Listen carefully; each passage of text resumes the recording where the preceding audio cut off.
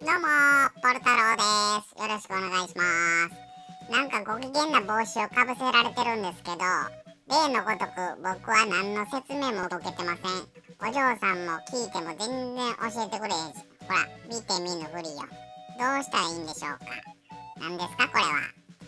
え、ポル太郎ハーフバースデー。なるほど、お祝いしてくれんのいや、嬉しいんやで。嬉しいんやけど、こんなん言いたくないんやけど、ちょっとしょぼない？手書きやし。なんかいろいろやってくれようとしてんのはわかんねんけど、なんか僕、ちょっと間抜けっぽくない？大丈夫？あと、ハーフってどういう意味なんかな？まあ、お祝いしてくれるって言うから、ちょっとこのステージみたいな上でじっとしとこうか。なんかくれんねやろ。あ？なんですかそれは。新しいおもちゃ？こんなんくれんの？ハーフバースデーって。いいね。ちょっとかじってみるけど、ただなんかこれトゲトゲしててどうしたらいいかよくわからんねんけど。お嬢さん、ちょっとこれ見本見してくれる？どうしたらいいの？あ、なるほど。これを持って行って遊ぶっていう例のやつか。せやけどトゲトゲしてるから顔がチクチクするんやけど。こういう風船とか置いてくれてるから、こっちの方がなんか魅力的やからこっちがええんちゃうかな。ほら、いつもやったらこれ怒られるはずやのにこんなんしたら。ハーフバースデーちゅうのは怒られへんらしいわ。ほら、走り回っても大丈夫、これ加えて。めちゃくちゃいいやん。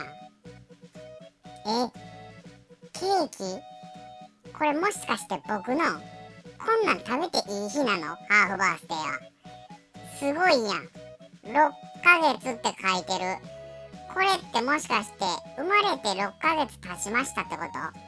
なるほど。ポル太郎ハーフバースデーというのは僕が生まれてから6ヶ月ということね。はい、食べようかな。あれ？火ついてるけど。ちょっと火ついてたら食べられへんから消してくれる？ねえ。ママさん、お願いします。ふー言うて。あ、消えた。これを消してくれたら僕が食べていいってことやね。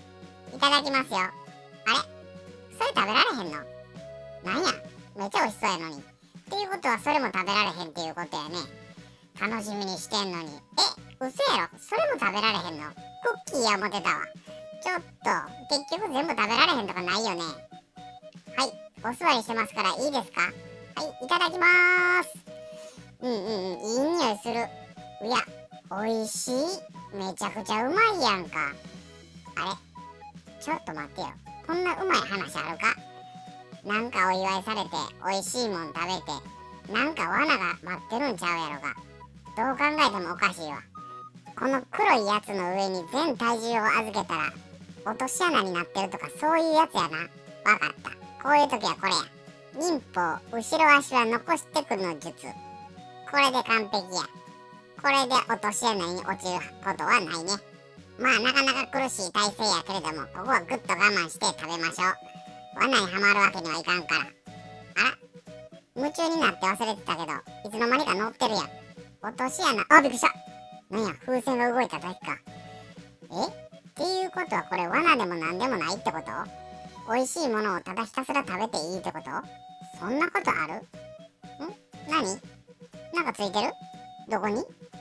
クリーム？あ何のこと？かわいい？あらいつの間にか食べ終わってるし。